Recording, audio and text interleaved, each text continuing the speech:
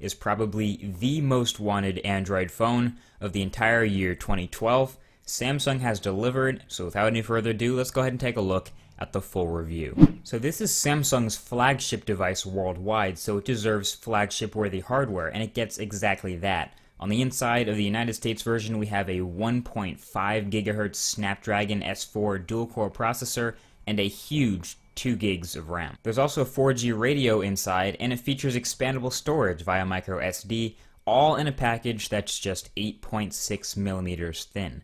Top off all the spec sheet stuff, which is actually detailed here on the back of the boxes. You get software-wise Android 4.0.4 Ice Cream Sandwich with the latest version of Samsung's TouchWiz UX on top, and we have some things to say about that too. The biggest new feature of them all, literally, is the new display. It's a 4.8 inch HD Super AMOLED display, so 1280 by 720, an absolutely gorgeous display for a phone. Is it Pentile? Yes, but can you tell? Nope. I mean, this is a crystal clear, super high contrast display with amazing responsiveness thanks to what's underneath. A lot of people toss around the word Pentile as if that means instant death to a display, but it's honestly you really can't tell unless you're looking at a much lower resolution of a Pentile display. First thing you notice when you're playing around with the Galaxy S3 is what I like to call fluidity, the smoothness of the user interface. When you're flying around TouchWiz, it's literally unmatched by any other Android phone. I've been playing with the One X for a while, the Galaxy Nexus for a while, but these animations here all execute at perfectly high frame rates, and that's not something I can say for every other Android device, and it just adds to that fluid experience. There's not a stutter anywhere. And this is the one reason why if I had to pick an Android skin over pure Android, it would be TouchWiz. I mean, it's the fastest, it's the lightest of them all.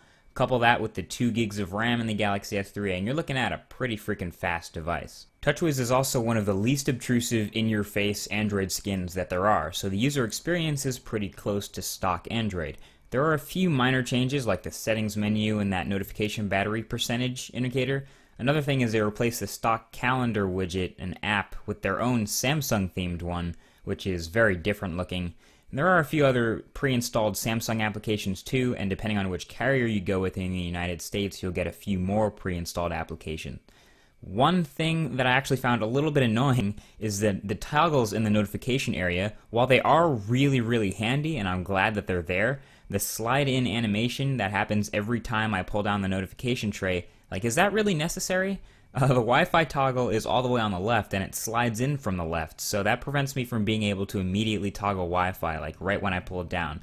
So it's just a little bit annoying, maybe just a minor complaint I suppose, but something definitely worth mentioning. The toggles themselves are pretty much all really useful and I'm really glad that they're part of TouchWiz. Definitely one of my favorite features. Now, that three button layout at the bottom, some people love it, some people really hate it actually. Some people don't like the home button that's physical at all, Honestly, it really grew on me though. Actually, after about five days of using the phone, I kind of like it. the The soft buttons disappear when they're not in use. You know, they perform legacy functions, but they aren't there when you don't need them. So that's pretty cool. And you can access the multitasking still by long pressing that home button. So honestly, if you play with it and you don't like it at all, give it some time. You might actually find that you like it in the end. I like the lock screen though, which gives you the option to drag in apps to open them immediately, and it gives you the ability to pick which apps you have here. Nice touch. I always like the ability to open the camera quickly. And speaking of camera, the Galaxy S3 has an amazing camera. It blows the Galaxy Nexus's camera out of the water and impressed me more than the One X's shooter.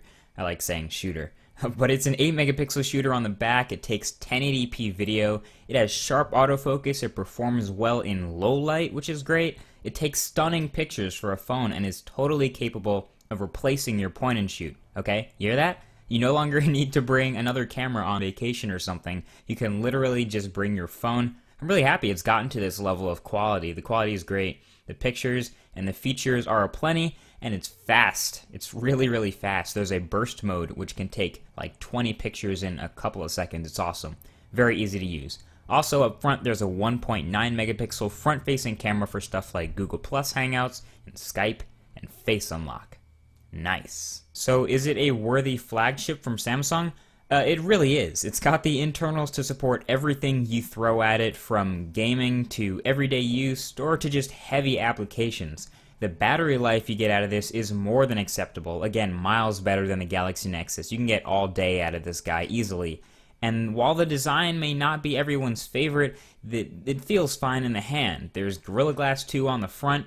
The device itself is very thin, no need for a screen protector with that Gorilla Glass, and the removable back gives you access to the internals, the 2100 milliamp hour battery, the SIM card, the SD card,